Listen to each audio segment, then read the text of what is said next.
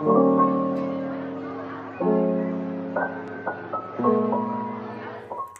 going on, guys?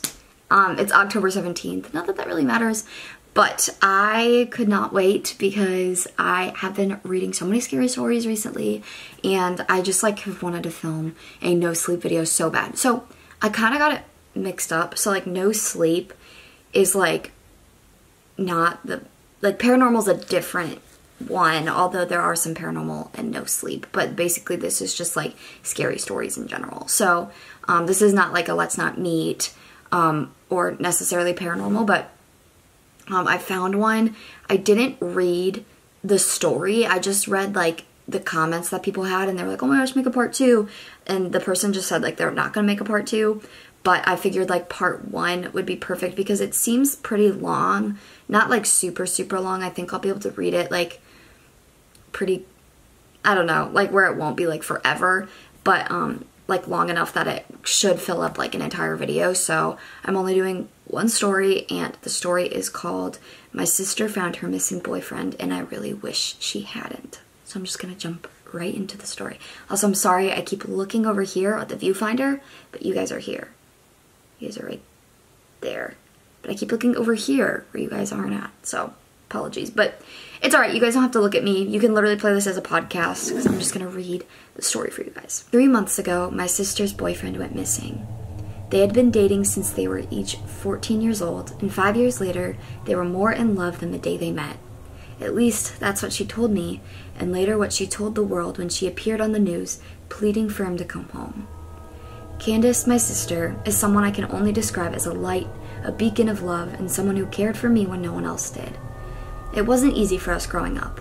Our parents worked hard just to keep a roof over her head, and Candace made sure I was fed, safe, and entertained whenever I was left in her care. I'm only three years her junior, but that was enough for her to feel responsible for me. Looking back now, I'm amazed we didn't quarrel as sisters did, despite my constant and sometimes nagging presence in her life. When she met Morgan, he became a part of my life too. He would hang out with us, helping her care for me and never raising an issue with me tagging along on their adventures. I loved him in the same way I would love a brother, and I'd like to think that he loved me too. They were so deeply connected, you'd think they'd been married for years. Candace would tell me how sweet he was, show me all the gifts that he would bring her, and you could see the light in her eyes whenever his car came down our driveway. That's why when he stopped responding to her messages randomly three months ago, she knew something was wrong. It was hard to get the police involved as he was 19 and from a family more dysfunctional than our own. They thought he was a runaway, and despite Candace's pleas, they declined to raise any alarms until further evidence presented itself that something more tragic happened. This didn't stop her from posting on social media, eventually assembling a team of people who helped her search for her missing love. She went on the news, created a YouTube channel documenting everything she found or didn't find. She was obsessed. Never once have I or will I blame her for that. Last night, Candace came into my room around 3 a.m., flipping on my light switch and waking me up without warning. Groggily, I shouted at her, What are you doing? Get out! Liza, stop. You have to listen to me. I. I just got a text message from Morgan. I sat up like a rocket, suddenly very, very awake. You. You what? From Morgan? Yes, well, not on his phone, but a text from him. I know it's him. He says so. I sighed. Candace, don't you think it could be. I'm sorry, but couldn't it be someone messing with you? Her eyes stared back into mine wildly. I thought so too, so I said, Prove it. He did. He told me something else no one would know. Something just between us. Something that I didn't even tell you, or my friends. She had my attention now. Show me the messages, I said. I can't. He told me not to. He's in danger, Liza. I can't put him in more danger yet. No one can know. But I need you to cover for me. I'm going to meet him. He is in it bad, I guess. Somehow got mixed up in something. So he needs money. He wants to see me to explain. I'm going to meet him. You can't be serious, I said. Candace, this isn't safe. What if this is fake? Or if he is okay, what if someone put him up to this? That's a risk I'm just gonna have to take, she said. I knew from the look in her eyes that nothing was going to change her mind. Well, at least let me go with you. No, you have to stay here. If something happens to me, You need to be safe and try to get us help. I can't risk bringing you too. Besides, he said not to tell anyone we're meeting. I knew it was a stupid idea. I knew she was being set up, but something inside me knew she was going with or without my blessing. I couldn't stop her, so I asked her to tell me where she was going, so she could have me on the phone so I could hear what happened. And I wanted her location on, I wanted her to know every move. And I told her if she wasn't back by 8 a.m., I was calling the police, regardless of who Morgan may or may not be mixed up with. She agreed with some reluctance. The meetup was supposed to be at a lake an hour out from home. She was to be there by 5 a.m. to stay an hour or so and be back at 7. At 8, I would call and report her missing. Heard her throwing stuff into a bag and rushing out the door. Her car peeled from the driveway, and I had the sinking feeling it would be the last time I saw my sister. They always say, trust your gut. I just wish my gut was wrong about this one. She called me just before 6, letting me know she was pulling up to the lake. I don't see anything yet, but he's probably just in a shadow or something, hiding. Then I heard a rustle as she put her phone in her pocket and got out of the car. Baby. Oh, baby, it's really you. I heard her voice, shaky with both fear and elatement, which soon was overcome with static as the phone bounced around in her pocket. It's me, Cheerio. I nearly stopped breathing. It was Morgan's voice. It was Morgan's nickname for her. There was no mistaking it. It it was really him. I cringed a little as I heard the kissing noises, the sobbing, and the almost hysterical laughter. I breathed a little easier after nearly 10 minutes had passed with nothing happening other than their emotional reunion. He started to tell her that he was in trouble and that he needed her to know that he was safe. He was figuring it out, but he couldn't tell her much. I wanted to tell him we could help him figure it out, to just come home, but Candace did that for me. Baby, you have to understand. I can't come home. Not yet. I just need to see you, to hug you, and to tell you that I'm okay. There's something I couldn't tell you in text, though. Something you have to know. I didn't leave on purpose. I found something when I was hiking one day. Something that I think I shouldn't have. What was it? Candace said. The tension in her voice was unmistakable. If I tell you, you have to promise to believe me, however crazy it may sound. Of course. Suddenly, the wind picked up. I could hear it howling around them. The panic rose in Morgan's voice. Shoot, shoot, it followed me here. I thought I got away. I thought I was safe. Baby, you need to go. It's not safe here for you. Oh, oh no, it's not. The phone was overcome with static. I couldn't make out any words, only voices, rising louder and louder, then screams pierced the microphone. I dropped my phone, diving it to stop him from hitting the ground for fear it would break, that I would lose the call. I grabbed it and raised it to my ear again. The screams were there, but it sounded like more than just Candace and Morgan. It sounded like hundreds of voices, as if they were caught in some kind of morbid echo. I wanted to hang up, wanted to turn off this horrible sound, but I knew that if I did that, I'd lose them forever. My decision was made for me when my call was disconnected. I heard the beeps that indicated a lost signal, and then silence. I called again and again to no avail. My sister had taken the car. I couldn't go after her. My only option was to call the police to tell them everything that had happened. They asked me to come to the station. They wanted a formal statement from me. I told them I could when my parents got home, but instead they sent a cruiser to pick me up. They said it was urgent that they speak with me. I was relieved to hear that they were taking me seriously. When the two officers pulled up to my house, they asked if they could come in. They wanted to speak with me as soon as possible, and it would just be easier to talk here, so I let them in. They asked me about Candace, about where she went and why. I told them everything, told them about the text and the lake, about how she was on the phone with me the whole time. I told them it was Morgan that she met. I heard it myself. They listened to me the whole time, writing things down and exchanging glances. The female officer asked the male to leave. She took my hand and asked me to repeat my story again. I told her that I had said the whole truth, that everything I said was what happened, she grabbed my other hand the way a mother holds their child when telling them bad news. Liza, we found Morgan's body last night. It was buried in the woods, 30 miles away from the lake Candace drove to. He. His body is with a medical examiner right now, but it's clear he's been dead for some time, probably since around when he went initially missing. I stared at her in utter disbelief. That. that can't be. I, I heard, I heard him. I stammered out, not believing what I was hearing. Look, I don't think you're lying. I just think, I think you've been misled. Whoever killed Morgan, uh, yeah, we think there was foul play involved. Whoever hurt him may have wanted to hurt your sister too. We have officers on the way to the lake. We will do everything we can to find your sister. I couldn't hear it anymore. I broke down, tears running down my cheeks. I sobbed as she pulled me in, letting me cry on her shoulder. They haven't found her body. They haven't found my sister. Her car was parked near the lake, and they found her footprints in the mud, first walking, then running towards the shore where I know she saw Morgan. They didn't see any prints returning to her car, and nothing showing that she went into the woods or the lake. What scares me is that they only found one set of footprints. It was as if Morgan had never been there. They told me no one else was there. They think she walked herself into the lake after not finding Morgan. They think it was a cruel trick and that she couldn't take the pain. I have trouble believing that though. I know what I heard. I know whoever or whatever hurt Morgan hurt her too.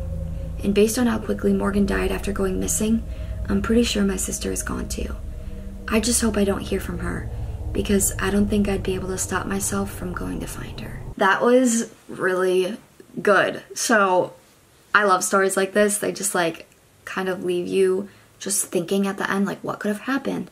I mean, it could have been, you know, a fictional demon or something that killed Morgan and then, you know, was trying to take Candace as well. But we don't know the motive or anything. So it kind of just like up to you to kind of just like think it through and like whatever your theories are. So it's very well done. The writer, um, she's on Reddit, Insomnia Storyteller or Insomnia underscore Storyteller. Um, is very good. Very, very good. Um, it honestly didn't take as long as I thought it would, so I can definitely read another story if you guys want. So, you guys are fine with that, I'm just gonna do it anyway. So, let me find a story. All right, this this next one is by the same uh, storyteller, just because I figured like we I liked her last story or him, her, her, them, their last story. so I figured like reading another one of theirs would probably be good too. So this one was called, or this one is called, I looked in my grandmother's mirror. And now I freaking hate my reflection. I don't remember my grandmother's house fondly. Standing in the frigid attic of a massive old colonial, I cursed the old woman for dying and leaving my sister and me with this mess. It was freezing, and the light was dim. I could hear the rain pounding and a distant dripping somewhere that probably meant a leak in the roof. I didn't care. That was Julie's problem. I was just here to help her because that's what sisters do. At least, that's what I told myself. Grandma was a collector, or rather, a hoarder. The floor wasn't littered with soda cans and used napkins. Instead, Grandma collected antiques. You could probably furnish multiple homes with just the stuff in her attic, and there were two other floors full of crap. I tried to get Julie to hire an estate service. After all, some of this junk had to be worth some money, but she refused. She cared more for Grandma than I did, and though she wouldn't admit it, Grandma loved her more too. I took the attic to get away from my crying sister. I couldn't stand her tears, but more so, I couldn't stand myself from not having any of my own. It's not that I didn't love my grandmother, but we just never shared a bond like she and Julie did. I was the problem child, always rambunctiously parading up and down the halls, threatening the integrity of her precious antiques. I remember one time I broke some old vase she had. If looks could kill, Grandma would have killed me three times over. Julie, on the other hand, could do no wrong. She spent hours in the kitchen baking with Grandma, would sit on the porch and sip tea with her. Pretty much anything they did, they did it together. My thoughts were shattered by a drop of water landing directly on the top of my head. I recoiled, looking up to see a small hole and another drip forming, pulling down from the beams above. As I reversed, my hand brushed something covered in a sheet, after breaking through the layers of dust and cobwebs, of course. I don't know exactly why, but I tore the sheet of whatever was happening underneath. I found a dusty frame surrounding a filthy standing mirror with a slight crack running through it. I paused for a moment, remembering this mirror. It used to be in my grandma's closet. I remember it specifically because Julie had been terrified of it. Julie and I were at Grandma's for the night. She was 11 while I was 13 and feeling particularly bored. I dared Julie to go into Grandma's closet while Grandma was downstairs cooking. It doesn't sound like much, but we were specifically forbidden from entering the walk in at the back of her bedroom. Neither of us knew why, but I did know that Julie wouldn't enter the closet on just a dare. So, as a good older sister does, I threatened to tell mom about the boy she had kissed at summer camp. Her eyes grew wide as she begged me not to. I told her she had to go into the closet for a full 10 seconds, and then I wouldn't tattle. Begrudgingly, she opened the door and took a step in. Oh, this isn't so bad, she said, taking another step in. I stood in the doorway, standing lookout. That's when Julie screamed. It was probably the worst sound I'd ever heard. I honestly thought she was being murdered. As much as I hate to admit it, I froze. I didn't know whether to run, to aid, or take off to save myself. Instead, I stood there like a deer in the headlights until Grandma arrived at the top of the stairs. I stood outside while Grandma held Julie, comforting her and telling her it was all going to be okay. I tried to ask what happened, but Grandma just shushed me and led us downstairs. We watched Julie's favorite movies that night, and Grandma made sure to lock her closet from then on. I thought Grandma would be furious, but instead she just looked sad. After we were sent to bed, I asked Julie what happened in the closet. The mirror, she said. I, I saw a ghost in the mirror. You saw what? I said, trying to suppress laughter. A ghost? That blood-curdling scream over a ghost? I'm serious, Keen. When I looked in the mirror, an old woman was staring back at me. She had this gray hair and a wrinkled face, and when I started screaming, she screamed right back. I didn't believe her, but figured making fun of her would get me nowhere. She spent the next 13 years terrified of that mirror. I tried to bring it up again when we were older, but she shut me down instantly, saying that she didn't want to talk about it. I dusted off the mirror and realized I had been keeping my eyes shut to avoid looking at the reflection. Stop being stupid, I told myself. What Julie had seen was just something from a child's imagination. To prove it, I decided to count to three and open my eyes. If I saw an old woman, I'd smash the mirror and run. If I didn't, I'd pretend I was never afraid in the first place. One, two, three. I opened my eyes and saw myself. There was nothing odd about the reflection, save for that I looked so freaking tired. Geez, why didn't Julie tell me that I looked like crap? After another hour of putting knickknacks in boxes, I went downstairs to look for Julie. I hadn't realized how late it had gotten and wanted to go. I found her in the kitchen, packing up Grandma's prized Pyrex dishes. One day they'd be worth so much money, she'd always tell us. Julie would nod along while I rolled my eyes. Jules, let's get going. I started, searching for her purse. Searching her purse for the car keys. Now? Keen, have you looked outside? I turned to the window, and the rain had turned to snow and was starting to come down in droves. There was no way we were leaving, not with the dirt road Grandma's house was on being covered in a thick layer of powder and sleet. Julie, why didn't you tell me it was snowing? I don't want to spend the night here. I haven't packed a thing. Oh, shut up. You know Grandma has sweaters you can take if you need. Besides, I bought frozen pizzas. You mean you knew we'd stay here this late? I tapped my foot, a bit annoyed. Well, I knew it was a possibility. We don't have to work here all night, but I figured we may be here for a while. Fine, I muttered, walking away before turning around. By the way, why didn't you tell me I looked terrible? What do you mean? You always look terrible, she said, smirking. I mean, I saw myself in that mirror and I looked bad. You know, the one you were so freaking scared of, you baby. I teased. And no, there wasn't an old lady screaming at me instead of a reflection. She dropped the dish she was holding and shattered it on the ground. Grandma would have been mad. It was one of her favorites. What did you say? I said I saw my reflection in the mirror that you were so afraid of. The one in Grandma's closet, remember? She moved it to the attic after you saw an old lady in it. Keen, please. Are you sure it was that mirror? Yeah, positive. Grandma described it to me in excruciating detail after you freaked out to make sure that I never looked in it. Why? Please. Please. Oh, no. Keen, sit down. Grandma.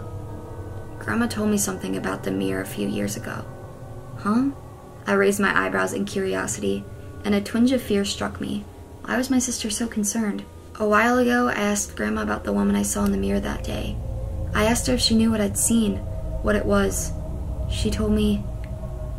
She... she said it was... Oh my gosh, I can't do this.